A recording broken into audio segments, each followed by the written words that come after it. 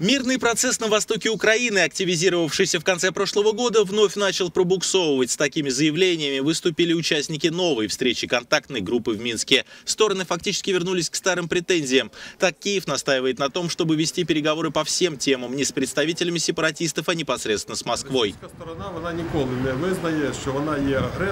Российская сторона никогда не признает, что она является агрессором, что она поставляет оружие и боеприпасы, что она оплачивает все эти действия. А с представителями отдельных районов мы не общаемся и переговоров не ведем. Большим успехом и надеждой на нормализацию отношений называли обмен пленными, который состоялся в конце декабря.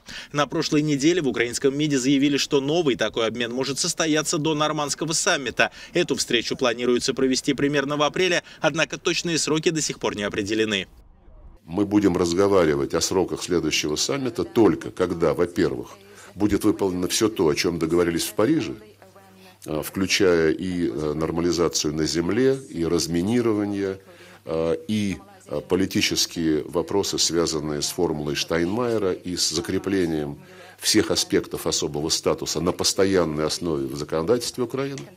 Сама ситуация в Донбассе резко накалилась. 18 февраля в районе Луганска произошел крупный бой с применением в том числе тяжелого вооружения, запрещенного Минскими соглашениями. Обе стороны обвинили друг друга в провокации. Наблюдатели назвали произошедшее самым серьезным обострением за последние годы.